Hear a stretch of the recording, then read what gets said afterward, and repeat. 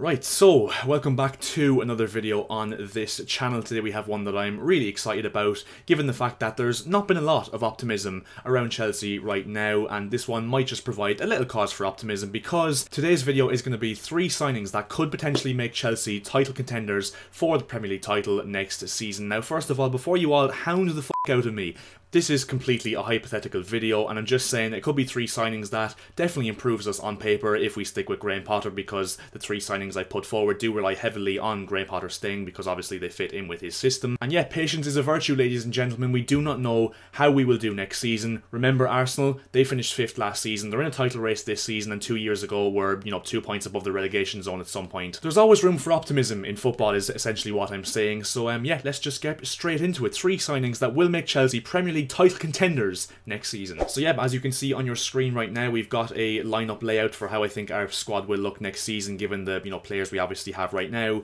and players that look like they're coming in in the summer, like Christopher Nkunku, who hasn't been announced by the club yet, but according to Fabrizio Romano, he is you know joining the club, and Malo Gusto, of course, is joining the club in the summer as well from Lyon. And we've got three spaces outlined, as you can see, for new signings. So the first one I've gone for is a goalkeeper, the second one is a number six, a partner in that pivot to Enzo Fernandez, and the final one is a striker up front. So those are the three main positions that I think Chelsea do need to strengthen in the summer. So, yet, like I said, I'm going to put forward one goalkeeper, one holding midfielder, and one striker that we should sign next season that would make us title contenders. And yet, let's go from back to front, starting with the goalkeeper. Okay, so for the goalkeeper, there was mainly two that I was between for me, to be fair, in um, goalkeepers that I analysed. It was, first of all, David Raya of Brentford, who's 26 years of age, competent with his hands in terms of the fact he's got a 77.3% save ratio in the Premier League this season, and he stops 10.1% of his crosses as well, which does mean that he's commanding when the ball comes into his box. He is assured in terms of, you know, launching the ball forward because his launched pass completion rate, which is passes longer than 40 yards, he's got a percentage of 40.2%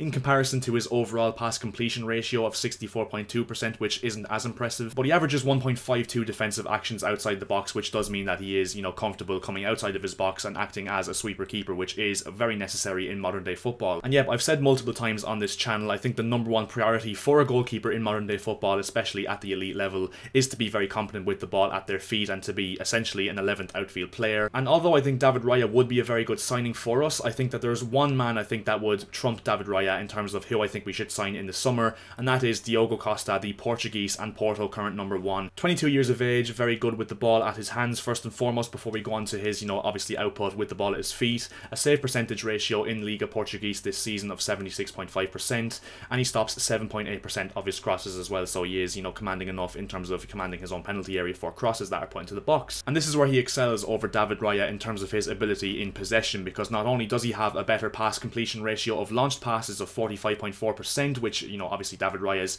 is high in itself, his pass completion ratio is also 15% higher than David Raya's of 79.4%, which is, you know, obviously very high. And even still, he averages 1.14 defensive actions outside his penalty area per 90, which does, of course, mean he is also comfortable coming outside of his box and acting as that sweeper keeper. So, yeah, I just think Diogo Costa, he is the modern day Ederson and Alisson. I think he's kind of the next goalkeeper of that breed of just goalkeepers who are just absolutely insane in possession and, you know, also is quite reliable in terms of his goalkeeping ability as well. So I do think Diogo Costa is the ultimate option to go for in terms of what Chelsea want in a goalkeeper. Although I will say Kepa is a little bit hard done by because I do think Kepa is having an absolutely brilliant season. He has the highest save percentage ratio of any goalkeeper in the Premier League with a save percentage ratio of 81.4% and also has really not put a foot wrong in terms of his distribution and the ball at his feet as well. So I do think that Kepa, if he does continue the way he's going, might make a case for, you know, keeping himself in this team next season, but I just have a little bit of question marks over whether he's the one to, you know, guide us to a Premier League title and be that goalkeeper in a title winning team. So if Kepa is to prove that he's not the one for that responsibility, then I think Diogo Costa would be a very good signing for Chelsea. Even though he will cost a little bit and maybe Raya's a, you know, somewhat cheaper alternative,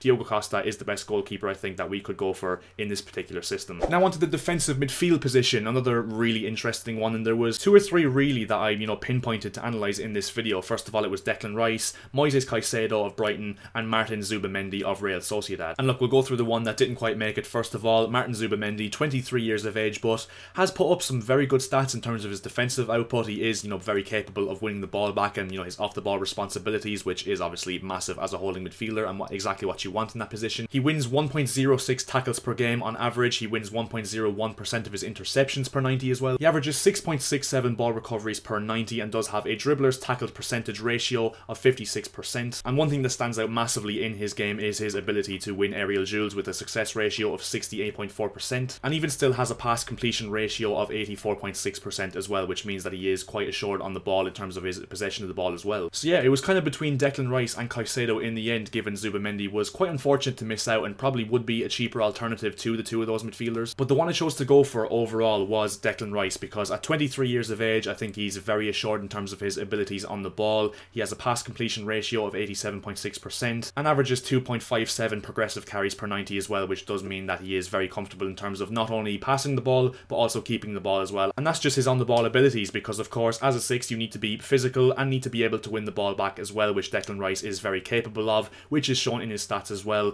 1.61 interceptions per 90, 9.26 ball recoveries per 90, and has a success ratio of tackling dribblers of 65.4%. And look, Caicedo puts up some very good numbers as well. At 20 years of age, he also has a higher pass completion ratio than Declan Rice of 88.3%. He averages more tackles 1 per 90 with 1.44 compared to Declan Rice's 0.91. He averages 1.53 interceptions per game, 6.68 ball recoveries per game, and dribbler's tackle success ratio of 67.6% per game. So some very good stats there and, you know, proves that Moises Caicedo is very comfortable in terms of his abilities on the ball and distributing the ball, but also winning the ball back as well, which is obviously crucial as a six, as I said. But I just think Declan Rice, given his leadership abilities, which are going to be very much needed at Chelsea in the next few years, given Azpilicueta's on his way out, Thiago Silva's getting no younger, and the fact that our only other real leader you could say is Reece James, given the fact that he's going to be probably the next captain. And yeah, we've seen Declan Rice this season. He's well able to do it in the Premier League. He's been West Ham's linchpin in that midfield for a number of years now and has led them on a European stage as well. So he has that, you know, big game element in him, I suppose. And yeah, I just think Declan Rice is one that's massively underrated by a section of the Chelsea fans. I know there is a section of the Chelsea fans that do want him as well, and he divides a lot of opinion in the Chelsea fan base, which is massive considering he doesn't even play for Chelsea. But yeah, I do think he would be probably the best option for us in that holding midfield spot, and I think him and Enzo would offer a lot of balance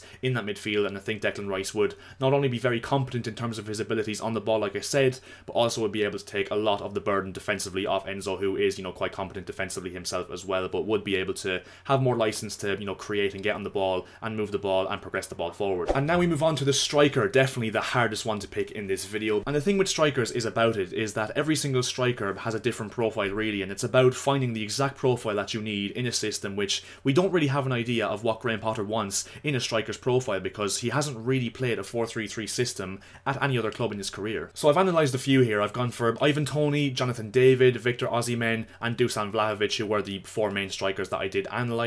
And based on those four strikers, I'm just going to go with the one that I think would most suit a high possession based game, which obviously is probably what Graham Potter wants to do and what the likes of City do, for example, and Arsenal, who are two very successful possession based teams. And the one that stood out like a sore thumb from those four strikers that I mentioned in terms of his capabilities in a possession based team was Jonathan David of Lille, 22 years of age, and has a lot of potential. He had a much, much higher pass completion ratio than any of the strikers I did compare him to 82.1% pass completion ratio, which for a striker is absolutely brilliant. He averages 3.2 shot creating actions per 90, which does show that he's very capable of, you know, creating for players around him in that attack. He's very good in terms of his ability to dribble with the ball as well and take on his men because he has a successful take on ratio of 36.4%, which as I said is very high for a striker as well. He averages 26.4 carries per game, which means he is very comfortable in possession as well. And before all of you, you know, anti-stat people come out and say, oh, what about his goals? He has got 12 goals in Ligue 1 this season. He averages 0.7 goals per 90 and is, you know, Ligue 1's second top scorer behind Folarin Balogun, who is on loan from Arsenal at Stade de Rennes this season. So yeah, Jonathan David has got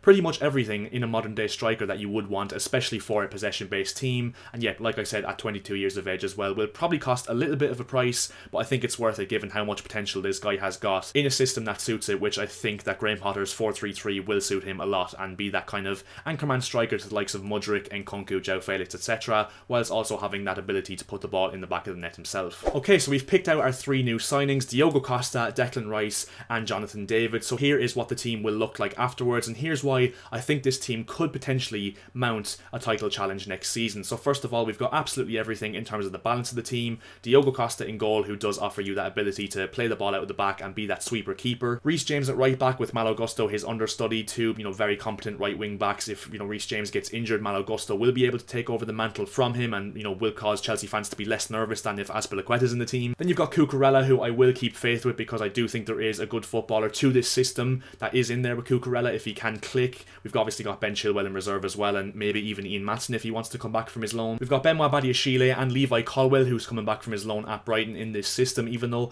I wouldn't be totally against him spending another season at Brighton to, you know, develop his skills and perfect his craft a bit more and get a bit more experience in first team football. But I think you've got two very, very competent left footed centre backs there who are very tall and do have some very good technical ability as well as being obviously good defenders as well. You've got Thiago Silva as a right centre back with Wes Fofana, the understudy. Then in midfield, you've got a perfectly balanced midfield of Enzo Fernandez and Declan Rice, like I said, who will complement each other in terms of the ability to, you know, progress the ball forward and move the ball and keep possession, but also be able to win the ball back as well. Then you've got João Felix in that 10 role, just almost being able to have a free roam, but also be able to, you know, help out Enzo and Rice in terms of when the, you know, counter attack is on against us. And then you've got Mason Mount as well, who I think if he does click could provide some very, very strong competition to João Felix. Then the wing positions is one that really does excite me because I know Christopher Nkunku isn't really a natural right winger and hasn't really played right wing ever for Leipzig, to be honest. But I do think in this system, with Jonathan David up front, with Mudryk on the left, who will be able to, you know, hug the flank really because Mudryk is very good going down the line, but also being able to cut inside in his right foot as well if needed. I think Nkunku would be able to, you know, shift into the middle and almost create space for Reece James down that right flank to act as a right winger. And I think Nkunku would be able to excel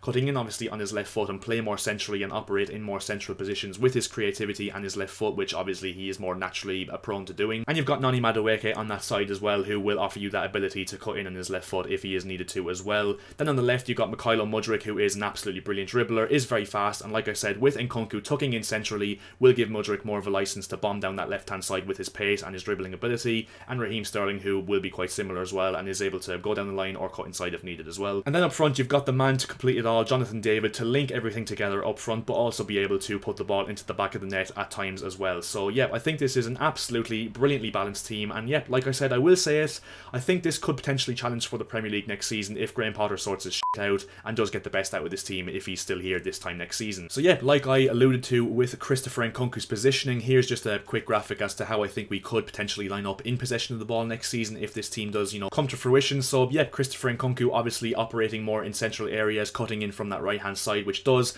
offer Reece James space to go down that right hand side and act as a right winger, like I said, which then creates the elbow tactic for Cucurella to slot in at centre back and perform a back three with the likes of Badiashile and Thiago Silva or whoever else is playing at centre back. Then you've got Enzo and Rice in midfield, offering that stability and balance in midfield and just holding the team together essentially like glue. João Felix, who obviously will, you know, shift a bit more out to the left hand side given the space that will become available from Mudryk going down that left hand side and the space that is taken up on the right from Nkunku coming in as well. And then, like I said, Jonathan David dropping deep but also being able to be that target man up front as well if you do want that focal point and or you if you want someone to link up the play, which I think he is capable of doing both. So yeah, that would bring us to the end of this video. If you did enjoy this video and want me to do more of this series, leave a comment down below on what team you want me to do this with next, whether it's Man United, Man City, Spurs, Arsenal, Liverpool, Newcastle, or any other Premier League team for that matter. And yeah, leave a like on the video, it would be massively appreciated. It means more than you guys could ever imagine. And also if you could subscribe to the channel as well, that would also be hugely appreciated as well because we are looking to hit 2,000 subscribers on this channel as soon as we bloody well possibly can. So every single one of you that hits that subscribe button would be an absolute legend in helping me get there as soon as possible.